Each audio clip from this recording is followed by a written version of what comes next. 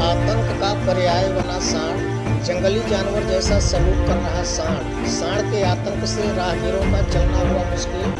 अब तक कई लोगों की ले चुका है जान। आपको बता दें कि लड़ियारी बाज़ार में एक सांड ने खीरी थाना अंतर्गत किन्नी कला गाँव के बुज़ुर्ग मूलचंद को मारकर गिरा दिया। फिर उसके प्राइवेट पार्ट सहित अंडकोश दांत से चबा चबा कर काट डाला। जानकारी के अनुसार मूलचंद सड़क के किनारे पेशाब कर रहे थे। उसी समय सांड झपट पड़ा। फिर मार मार कर गिरा दिया और पीड़ित बुज़ुर्ग के अंडकोश को पूरी तरह काट डाला। वहाँ मौजूद लोगों द्वारा सांड को भगाया गया। फिर एंबुलेंस से सामुदायिक स्वास्थ्य केंद्र कोराव इलाज हेतु ले जाया गया।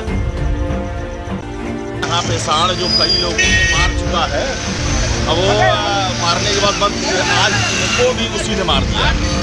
ये बहुत सीरियस अवस्था में है इनका बचना संभव नहीं। ये कहाँ के रहने वाले हैं? ये रहने वाले हैं किमी गाँव किमी कला गाँव। के हरिजन है इनका। एक हरिजन है इनका पोता वो खा लिया है। पोता खा लिया बहुत बेतुका मारा है।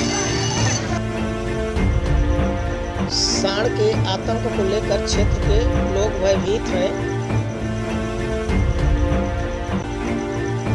ऐसी घटना को लेकर इस क्षेत्र के सभी लोग भयभीत हैं कि कभी भी कोई व्यक्ति सड़क पर जा रहा है, वह अचानक हमला कर देगा। क्योंकि इसके पहले भी कई लोगों को मारकर जख्मी कर दिया है और कई लोग तो मर भी चुके हैं। इसके आतंक से पूरा क्षेत्र एकदम भयभीत हो गया है।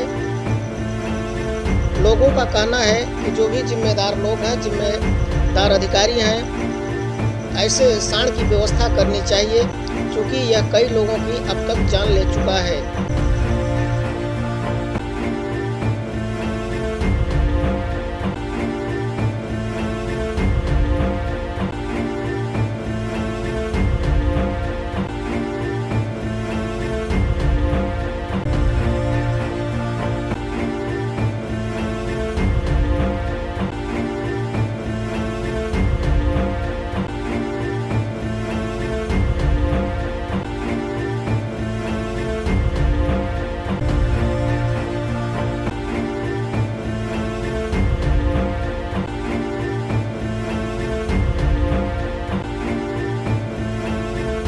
आपके कौन है?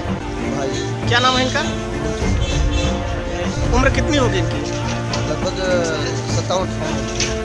कौन सा गाँव है? ये कहाँ पर गए थे? मार्केट आए थे। आपका नाम क्या है? रमेश।